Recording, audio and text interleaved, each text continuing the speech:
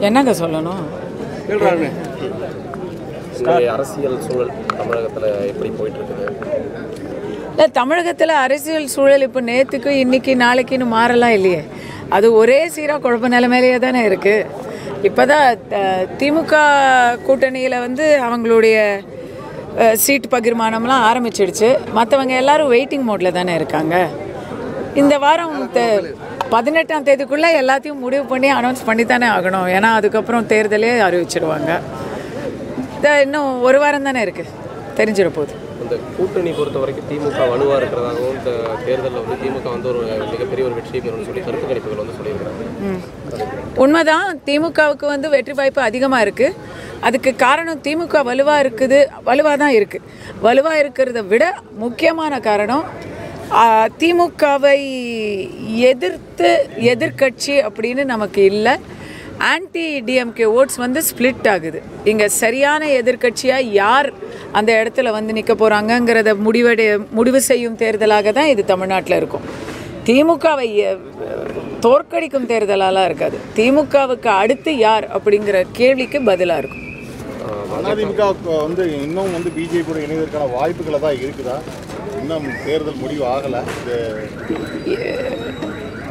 எனக்கு தெரிஞ்சதை சொல்கிறேன் இல்லை.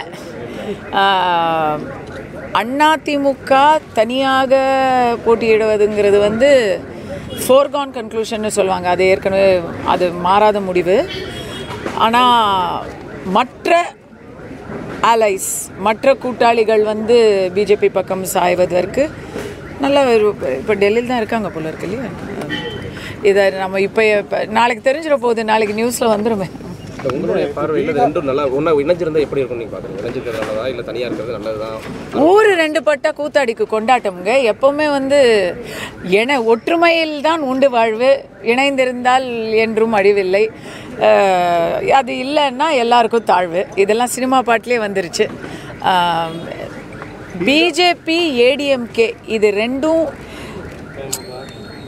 அதிமுகங்கிறது புரட்சி தலைவி அம்மாவுடைய காலத்தில் அவங்க மோடியா லேடியான்னு கேட்டு தனியாக வந்து ஜெயிச்சவங்க.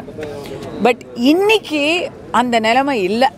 இது வந்து கருத்து கணிப்புகள் இந்த புள்ளி விவரங்களை வச்சு நான் சொல்கிறேன் நம்ம நிறைய ஒர்க் பண்ணியிருக்கோம். இப்போ வந்து பிஜேபி ஏடிஎம்கே ரெண்டு பேரையும் இணைச்சி தான் மக்கள் வந்து ஒரு ஆளும் கட்சிக்கு எதிரான அதிருப்தியை காட்டணும் அப்படின்னு நினைக்கும் பொழுது இவங்க ரெண்டு பேரும் இணைஞ்சு அதை அறுவடை செய்கிறது தான் சரியாக இருக்கும். இப்போ பாருங்கள் கமல் கூட வந்து டிஎம்கே கூட்டணியில் சேர்ந்துட்டார். அவர் வந்து ஒரு பத்து பர்சன்ட் பிரித்தார் இப்போ அந்த பிரிப்பு பிரிவு கூட இருக்காது. அது வந்து அப்படியே ஒட்டுமொத்தமாக கூட்டணியில் சிந்தாமல் சிதறாமல் போகும் டிஎம்கேவுக்கு அப்போ எதிர் ஓட்டுகள் வந்து சிதறாமல் இருக்கிறது தான் எதிர்க்கட்சிகளுக்கு நல்லது. இதை வந்து இன்னும் இது பெரிய கம்பசூத்திரமெல்லாம் இல்லையே. பீகார்ல நிதிஷ்குமாரோடையும் பிஜேபியோடைய கூட்டணிகள் கூட்டணி தான் இருக்கிறாங்க இருந்தாலும் அங்கே இன்னும் வந்து சீட் உடன்பாடு ஆகலை ஒரு முரண்படுவதாக இப்போ செய்திகள் வந்துருக்கு இப்போ நம்ம பீகாரை பற்றி பீகார் அரசியல் பேசுகிறோமா இப்போ நம்ம? நீங்க அகில இந்திய கட்சி பேசணுமே எந்த கட்சி சார் நான்? நீங்க தான் பிஜேபி நான் அப்படியா? யார் சொன்னா? நீங்களே இந்திய கட்சி தலைவராக எதுங்க? எங்களோட விருப்பம். மீடியாவோட விருப்பம். ஓ விருப்பம். உங்கள் விருப்பமா? சரி சொல்லுங்க. சரி இப்போ பத்திரிகை ஊடக அன்பர்களின் விருப்பத்துக்கு இணங்க நான் எந்த கட்சியில் சேருங்க சொல்லுங்க. என்னுடைய வலதுசாரி சிந்தனைக்கு கண்டிப்பாக பிஜேபி ஒரு ஃபிட்டு தான். அதுக்கு நான் வந்து சில விஷயங்கள் வந்து நடக்கும்போது நடக்கும் நான் அவசரப்படலை. இன்றைக்கி வந்து தேர்தலில் பலருக்கு இருக்கக்கூடிய கட்டாயங்களில் நான் என்ன நான் எலெக்ஷனில் நிற்கணும் அப்படின்லாம் நான் இப்போ நினைக்கல. அது இருக்கட்டும்.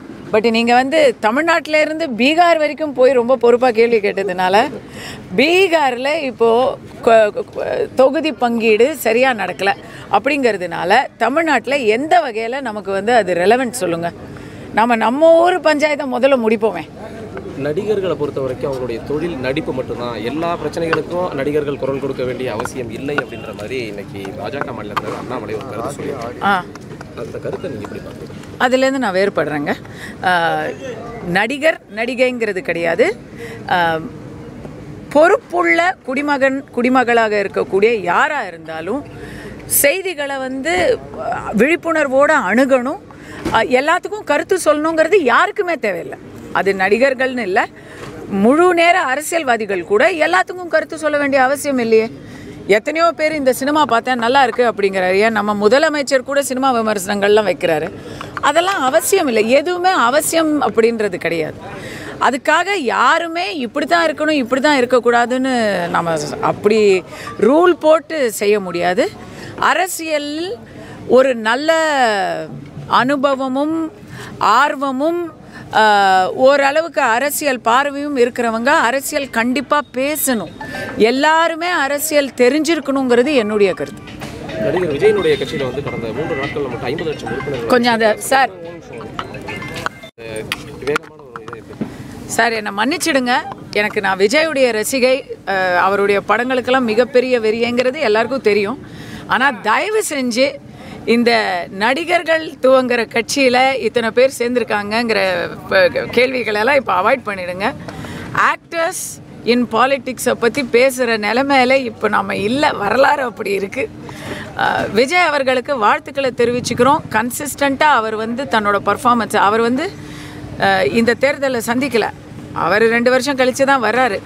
அதுக்குள்ளே என்ன மாற்றங்களை நம்ம பார்க்க வேண்டியிருக்கோ தெரியலை. நம்பிக்கையை மட்டும் நம்ம வந்து தெரிவிச்சோம். இப்போ என்ன கருத்து வேணாம். பிஜேபிக்கு நானூறு சாத்தியமா? த ஆந்திராவில் இப்போ வந்து பலத்த கூட்டணி அமைச்சிருக்காங்க. அஹ், ஒடிசாவிலையும் வந்து மறைமுக கூட்டணி அது நேரடியான கூட்டணியாக மாறக்கூடிய வாய்ப்புங்கிற மாதிரி செய்திகளை கேள்விப்படுறேன். இப்போ நீங்கள் கேட்ட மாதிரி பீகார்லேயும் வந்து தொகுதி பங்கீடு முடிச்சிருச்சுன்னா நானூறுங்கிறது சாத்தியம்தான். அதே மாதிரி தமிழகத்தை பொறுத்த வரைக்கும் பாரதிய ஜனதா கட்சி வந்து இந்த தேர்தலில் மிகப்பெரிய ஒரு வெற்றியை பெறும் அப்படின்னு சொல்லி பாஜக மாநில தலைவர் சரி பாஜக இருக்கக்கூடிய முன்னணி தலைவர்கள் எல்லாம் சொல்லிட்டு இருக்காங்க. இது எப்படி நீங்கள் வந்து திடீர்னு திமுகவிற்கு வெற்றி வாய்ப்பு நிறையா இருக்கும் அப்படின்ற மாதிரி நீங்கள் இல்லை இல்லை திமுகவுக்கு தான் ஸ்வீப் இருக்குது அப்படிங்கிறது தான் எல்லாம் நான் சொல்லலைங்க. எல்லா சர்வேவுமே அதுதான் சொல்லுது. இதில் என்ன இருக்குது நம்ம வந்து நம்பிக்கை வேறு ஆசை வேறு நிதர்சனம் வேறு. அரசியல் யதார்த்தம் திமுகவுக்கான. ஏன்னா எதிர்கட்சிகள் ரெண்டு முக்கியமான கட்சிகள் பிளவுபட்டு கிடக்கும் பொழுது இவங்க வந்து கட்டுக்கோப்பாக இருக்காங்க. எல்லாருமே அவங்க வந்து எந்த ஒரு தவறான முன்னெடுப்பையும் எடுத்து வைக்கல. எக்ஸாக்டாக டூ தௌசண்ட் நைன்டீனில் என்ன பண்ணாங்களோ அதுலேருந்து இம்மி பெசகாத அதே ஃபார்முலாவோட தான் இறங்கியிருக்காங்க. இன்னும் கமலுங்கிற ஒரு பத்து பர்சன்ட் அவர் ஆறு பர்சன்ட் வாங்கினாரா அசம்பிளியில் அதுவும் அவங்களுக்கு வந்து இப்போ போகுமான்னு தெரியல. ஏன்னா கமல் அவர்களுடைய கட்சியில் இருந்தவர்கள் திமுகவை எதிர்த்து அவர் கட்சியில் சேர்ந்தவங்க தான். இப்போ அவங்களே வந்து அதுக்கு திருப்பி போடுவாங்களான்றதுலாம் எனக்கு தெரியல. பட் ஸ்ப்ளிட் ஆகாத ஓட்டு டிஎம்கேக்கு தாங்க இருக்குது நீங்கள் என்ன கேட்டீங்க? பிஜேபி பெரிய அளவில் வெற்றி பெறுமா? பெறும்னு சொல்லியிருக்காங்க. யாரு? பிஜேபி கட்சியில் இருக்கிறவர்கள் கூட அதை சொல்லலைன்னா அப்புறம் எப்படிங்க? கட்சியில் இருக்கிறவங்க அவங்களுடைய கட்சிகள் வந்து வெற்றி பெறும் அப்படின்னு தான் சொல்லுவாங்க. இப்போ நடந்திருக்கிற கூட்டம் வந்து வேண்டும் மோடி மீண்டும் மோடி அப்படின்றது இருக்கிறதா எனக்கு தெரியல. இந்த இடத்துல நீங்க இந்த கூட்டத்துல பங்கேற்று நீங்க திமுகவுக்கு வெற்றி வாய்ப்பு இருக்கும் அப்படின்ற ஒரு கருத்து சொல்லி அதுக்கு என்ன பண்ண முடியுங்க? நிதர்சனம் அது. அது அது வந்து நான் அதுக்காக நான் திமுகவுக்கு ஆதரவு அளிக்கிறேன். அவங்க ஜெயிச்சா வந்து தேனும் பாலும் ஓடும்னு நான் சொல்லலை. எங்கள் ஊர்லலாம் சாக்கடை தண்ணி தான் ஓடிச்சு வெள்ளம் வந்தப்போ. அதனால் நான் அது அதுக்காக இல்லை. ஆனால் அதான் இது வந்து ஒரு அதான் நடக்கும். அப்படின்னா நீங்க பிஜேபிக்கு ஆதரவு இல்லையா? நான் ஒரு வலதுசாரி சிந்தனையாளர் தான். கண்டிப்பாக நான் திமுகவுக்கு ஆதரவு கிடையாது. அப்போ நான் யாருக்கு ஆதரவு? திமுகவுக்கு ஆதரவு இல்லாத பொழுது நான் கண்டிப்பாக பாஜகவுக்கும் அவர்களை சார்ந்தவர்களுக்கும் ஆதரவான்றது மாதிரி தானே வரும் அதில் என்ன? நான் மோதிக்கு தான் அங்கே ஓட்டு போட போகிறேன் நேஷனல் லெவலில் பிரதமர் மோடி அவர்கள் தான் மறுபடி வருவார். மீண்டும் மோடி வேண்டும் மோடி அப்படிங்கிறத தான் நானும் வந்து நினைக்கிறேன்.